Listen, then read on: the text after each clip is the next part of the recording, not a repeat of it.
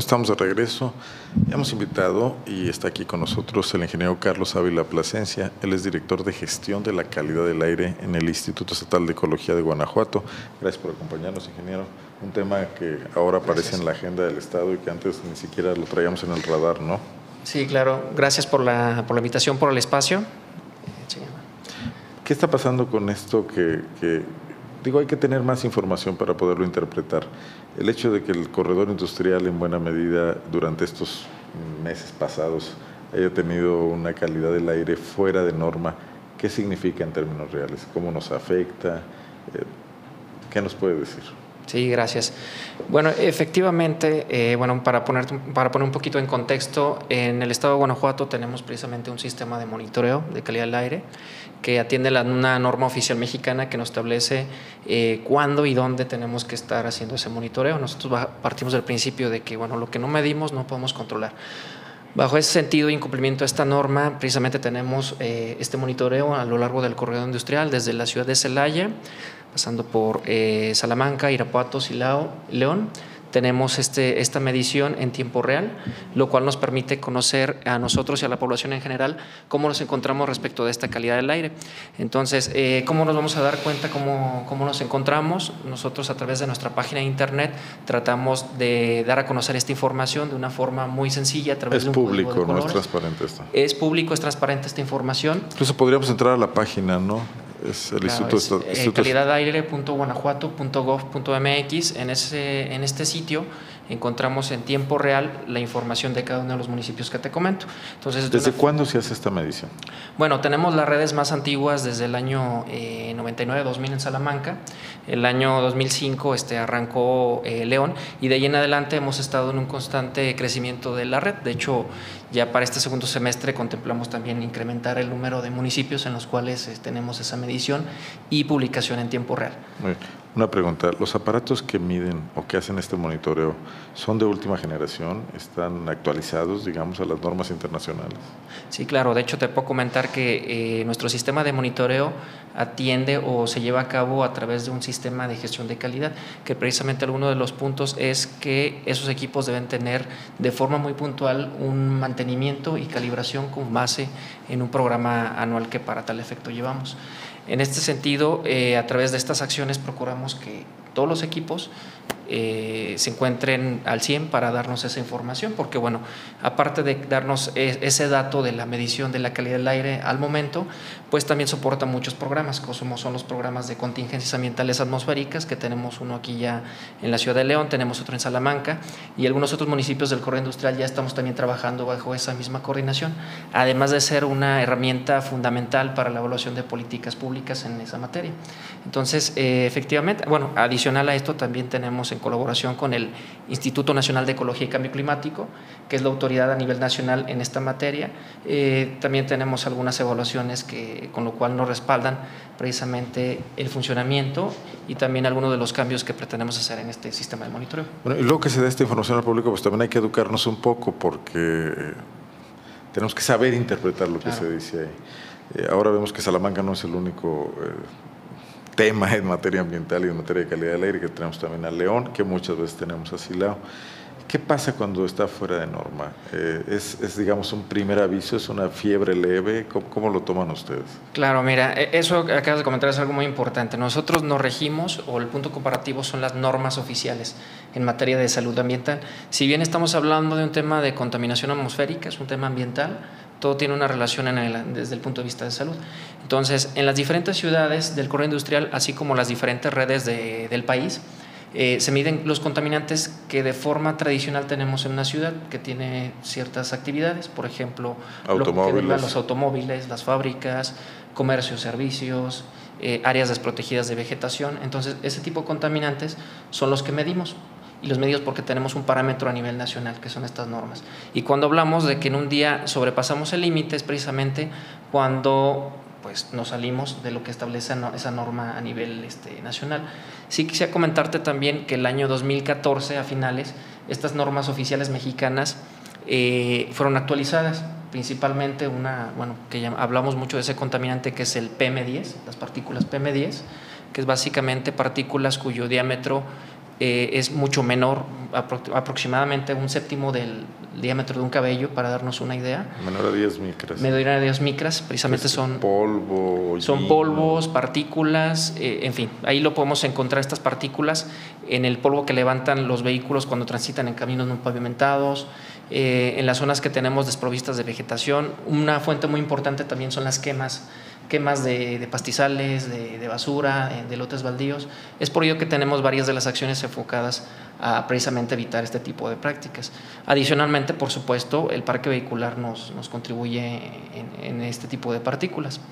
Eh, en ese sentido, bueno, estos contaminantes son los que estamos midiendo aquí en, este, bueno, en todo el corredor industrial. Cada, cada ciudad tiene su caso eh, muy particular.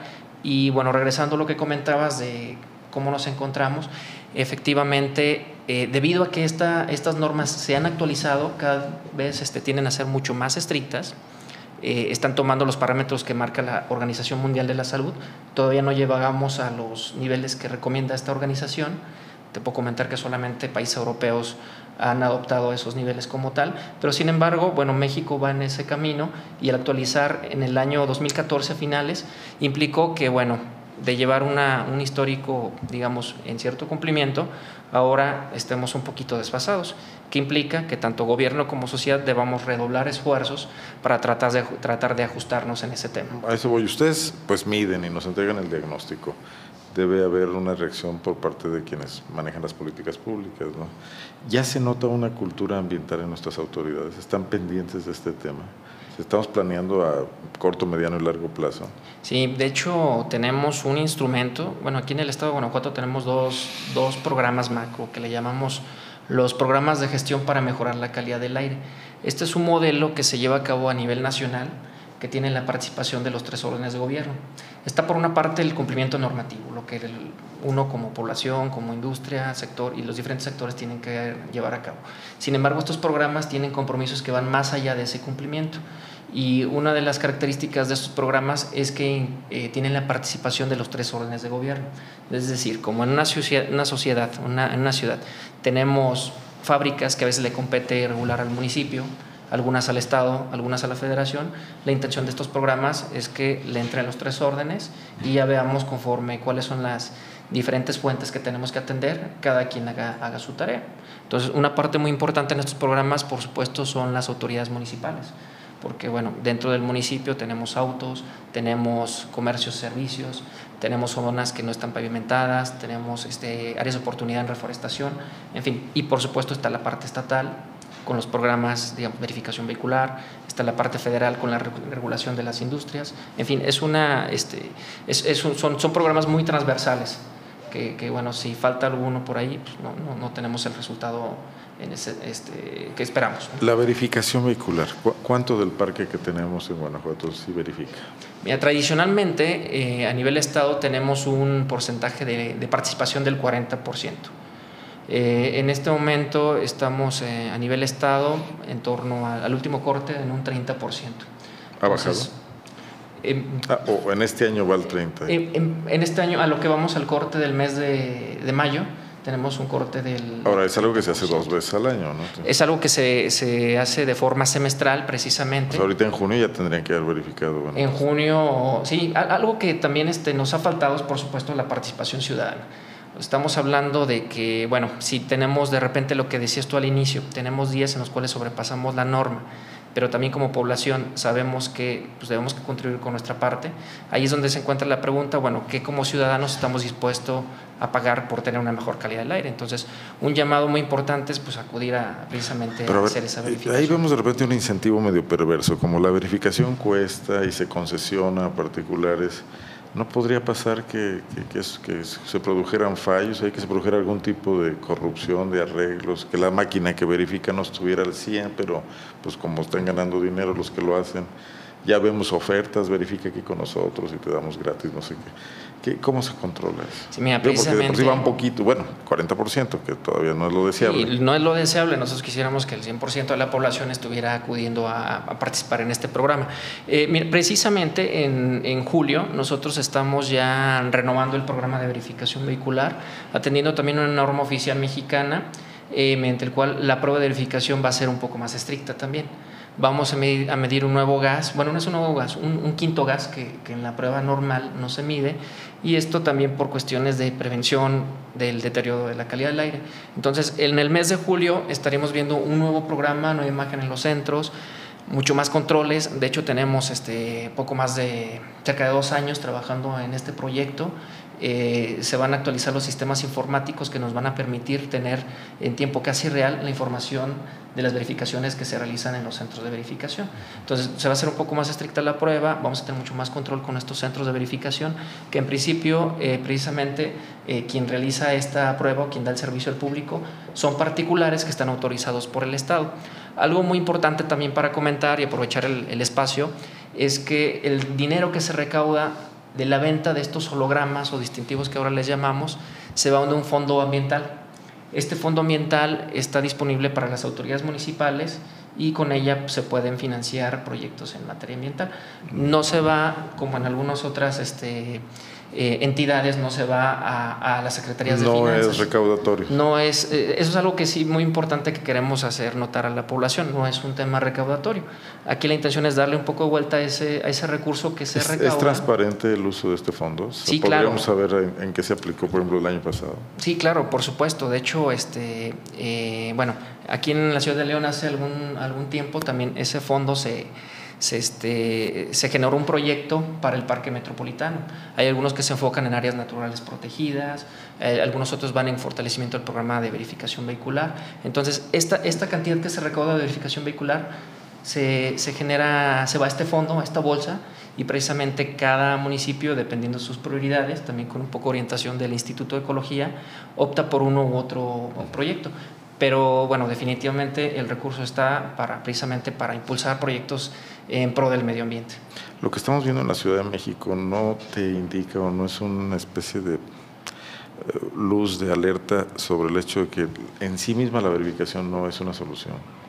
Porque si en algún lugar fue estricta la verificación fue en la Ciudad de México y el problema no se ha solucionado, al contrario. Sí, mira, yo definitivamente el tema de verificación vehicular sí es un programa importante que contribuye pero no es la única forma de, solucionar el tema. Afortunadamente en el estado de Guanajuato estamos tomando acciones eh, preventivas, no, no, tenemos la situación que tiene la Ciudad de México ni la zona metropolitana. Eh, eh, y es por ello bueno, que te comentaba de estos otros programas que tienen un tinte transversal, de que bueno, un tema que llevamos en coordinación Estado-Municipio es verificación vehicular. Pero sin embargo hay muchos otros temas que se tienen que abordar precisamente porque la simple verificación vehicular no, no representa la solución en su totalidad, sino es una serie de muchos factores en los cuales tenemos que contribuir para lograr una mejora en este sentido. Eh, sin embargo, en el tema de vehículos sí es una acción importante el tema de verificación vehicular. Bueno, eh, hay que estar aquí, te vamos a invitar de nuevo cuando entre en, cuando entre en en, activo este nuevo programa de, medición de la calidad del aire y de verificación. Te quería preguntar que nos orientaras también, ¿qué pasa con la gente que viaja a la Ciudad de México ahora con las nuevas restricciones? ¿Han cambiado ahí un poco los lineamientos? ¿La calcomanía doble cero ya no funciona? ¿Qué, hacer? Sí, claro. ¿Dónde se puede consultar? Eh, ok, mira, eh, bueno, hemos, hemos estado dando este, algo de esa información a través de, lo, de las redes sociales, la página del instituto, el Twitter, eh, la cuenta de Facebook. Sin embargo, para comentarte, en la zona metropolitana del Valle de México, del mes de abril hasta el último día de junio, debido a las contingencias que se han presentado en aquella zona, aplicaron unas medidas emergentes en las cuales ellos en este momento están aplicando el programa Hoy no circula independientemente del tipo de holograma, ya sea que lo hayan adquirido en la Ciudad de México, en el Estado de México o en Guanajuato o en alguna entidad que tiene convenio como nosotros. En este sentido, eh, independientemente del distintivo o, holograma que se, que se porte, en este momento hay que atender a lo que establezca ese programa, que es básicamente la limitación a la circulación de un día de la semana, dependiendo de la terminación de la placa. Y de igual manera los sábados también, va a depender del tipo o terminación de la placa, independientemente del, holograma. Ahora bien, con esta norma emergente que precisamente es, es, muy nueva, de hecho la semana pasada la acaban de, publicar, la, bueno, a través de la Comisión Ambiental para la Megalópolis, Ellos eh, emiten esta, esta norma emergente que aplicar por seis meses y a partir del primero de julio en adelante eh, van a cambiar un poquito el esquema de, este, de verificación están haciendo mucho más estricta la prueba de verificación como tal, están incluyendo, bueno, ya lo ha comentado el secretario de Medio Ambiente y el coordinador de la propia CAME, un, un sistema que es a través de del chequeo del auto, a través de la computadora, que se le llama el diagnóstico a bordo, o el OBD2 en el, en el lenguaje técnico. Eh, lo que va a permitir este sistema es que es como cuando llevamos el vehículo a hacer la afinación, que le meten el escáner y nos da una lectura de cómo se encuentra el vehículo este, en cuanto a su funcionamiento. Va a ser algo muy similar. Va a llegar, se va a, hacer la lectura de esos códigos o de esos sensores y si alguno de ellos se encuentra en mal funcionamiento, tendrá que eh, rechazar eh, la prueba de verificación vehicular. Además de otros sentidos que también están, están reduciendo los límites de emisión para autos con mayor este, antigüedad a, los 10 años. Eh, también para comentar, nosotros en el estado de Guanajuato tenemos tres centros de verificación vehicular o verificentros que operan con base en los convenios que tenemos con la Ciudad de México y el Estado de México. La ventaja que tienen estos verificentros es que expiden precisamente estos hologramas 000. Solamente tenemos tres en el estado, uno en León, uno en Irapuato y otro en Celaya. Y es precisamente para atender a la población que requiere de forma muy frecuente eh, viajar a la Ciudad de México. Pero ahorita igual esos están sometidos a las reglas de la, exacto. medida emergente. Algo muy importante es que... O sea, dependiendo de la placa, pues. Exacto, dependiendo de los convenios o los lineamientos que adopten aquella zona, los verificentros que tengamos acá también lo tienen que, atender.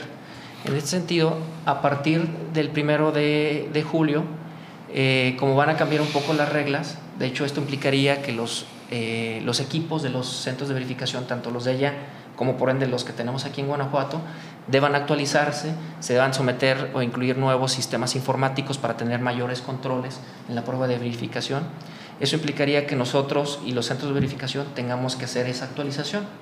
Eh, estaríamos desde este momento al mes de julio haciendo precisamente ese proceso de actualización y bueno, esperamos que no vaya más allá del primero de agosto en cuanto a la coordinación ejecutiva de la Comisión Ambiental para la, de la Megalópolis nos dé nuevamente esa validación para que podamos otorgar nuevamente esos, esos hologramas 000 que permiten precisamente o permitirán exentar. ¿Lo avisarán ustedes en redes, en su Sí, por supuesto. Ahorita muy importante es bueno, este, hacer este, este comunicado de que estén atentos a, las restricciones que establezcan en aquella zona. A partir del primero de julio regresaría el esquema anterior.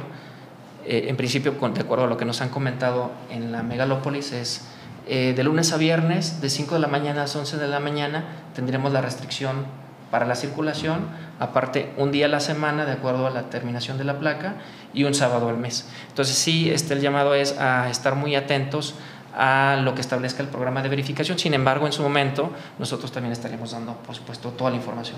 Muchísimas gracias, Carlos. Gracias. Es el eh, director de gestión ambiental, de gestión de la calidad del aire en el Instituto Estatal de, Ecología, Carlos Aarón Ávila Plasencia. Voy a una pausa, continuamos.